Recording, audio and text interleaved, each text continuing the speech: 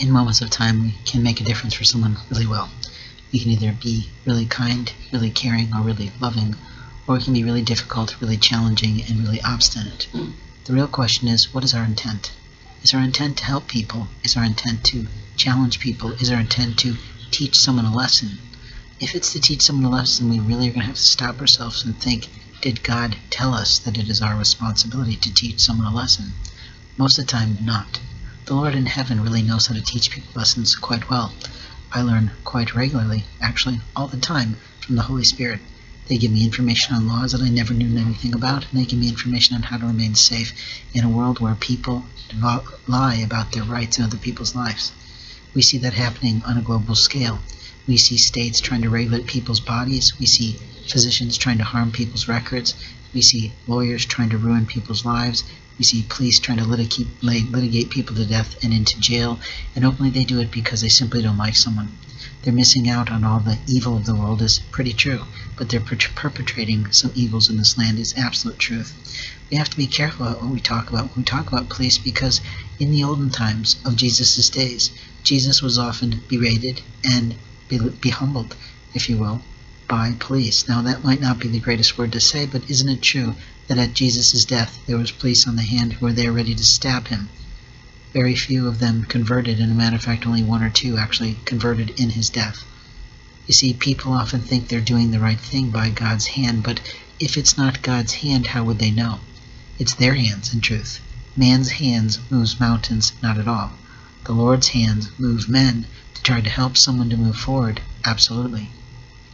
When someone tries to do something that harmful to someone else, they are not on God's path. There is no passage in the Bible that says that it is our job to harm a person's life in the name of the Lord. And it's truly not our right to tell someone that they don't have a right to their own body, their own personhood, their own being, their own physicality, their own medical prescriptions, and their own rights in the land.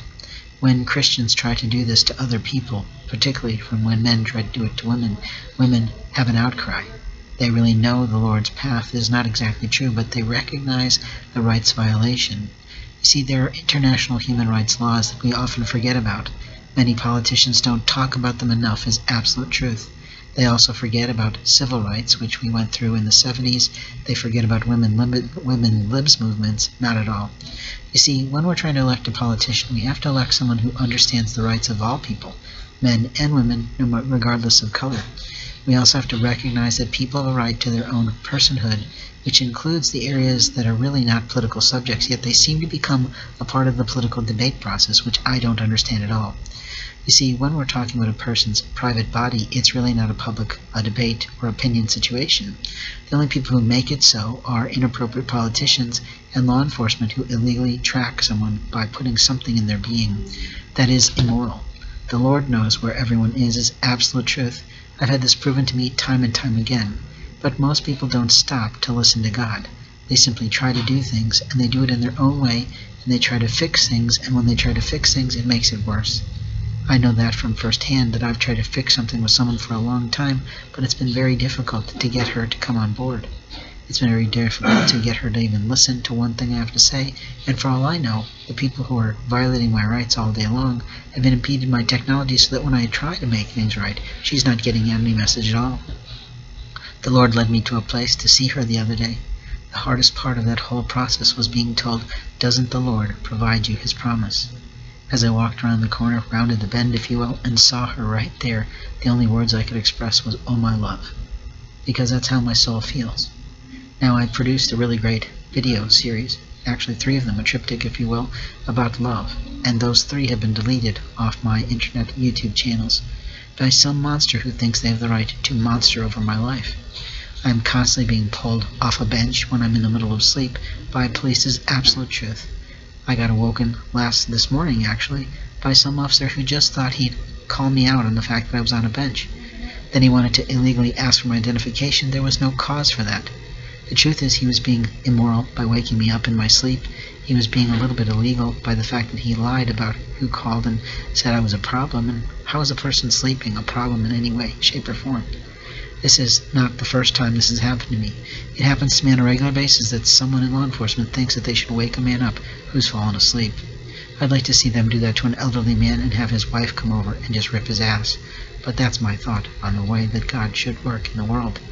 You see, when we have pastors who don't do the right thing by people, then we have men who don't do the right thing by people, and we have women who participate in not doing the right thing by people. You see, we have a lot of people with a lot of wealth in the land, but they put their money overseas. They put their money into animals, which is their choice and their prerogative, but it doesn't prove they know God's love at all. You see, God's love is about helping people. It's about helping the homeless. It's about helping the underprivileged. And it's about helping people to be raised up to become more in life, to honor the spirit and the soul that God has put in them. There's a wonderful film that talks about that, and I'm going to try and convince the director, who I believe is connected to me through LinkedIn, to produce that small clip for the world to see again. How God puts and breathes a soul into a parent's baby. It's really quite a fascinating little cartoon, and it really changed my life when I saw it. More people need to see that, I believe. Now, I am sort of old and I am sort of tired, and I'm not quite as cheery as I once was. I'm talking softly because I'm in a library and I don't like to be stalked or voyed upon by other people. The reality is that we have a moment of time to do different things for different people, and right now I'm looking for someone in particular who's supposed to come and help me to move forward in life. She's been lazy in her attempts. She's been challenging the Lord, saying, When it's snowing, I'll come. How many times has the God made it snow during the spring this time? She needs to really think about that. How many different color shirts do I have to produce to prove that I'm the one? I don't know. But I'm wearing most all of them, and it's sort of sweating to death. But that's okay. It protects me from the monsters who keep getting in my pockets and monkeying around with me using audio tones. That's something that the nation has to be wary of, that they're using electronical tones through audio files and audio mass systems and our cell phones, just as the Kingsman film talked about, to try to mob, monitor, and harass people. It's actually immoral. The Lord doesn't like it, and He may just take some of those people home because He's tired of them thinking they're going to lord over a person's life. In life, we have moments of time to make a difference for someone, and right now I'm fighting keeping my eyes open because of the horrible tone that is playing in the background in this room. I know that someone is doing it purposely, and I want it to stop. But when I talk about the reality of truth, of technological science that is used to harm people, people don't want to be mindful of the truth. That makes it really hard to stay awake, really hard to not look like I'm frowning, as my mother would say, and openly it's sort of comical. I actually told her prophetically that if she didn't stop her monsterizing my life, that she would become ill. When I called to check on her yesterday, I learned she had been ill, had had pneumonia, and she'd actually been in the hospital. No living relative of mine bothered to call me and tell me about my mother's illness. Isn't that interesting? That people who profess the name of the Lord wouldn't give their own sibling a call to say, hey, mom's ill, you might want to come over, or something. Now, whether I could have gotten there or not is another story altogether. But there are people in this land who don't think about the Lord's rights in other people's lives. They think they're going to change them, they think they're going to modify them, they think they can do some sort of conversion therapy, and the truth is, it's not the right to do. The Lord makes every soul, and people have to start paying attention to that. Now this, of course, has been someone from a good little company saying thanks for listening.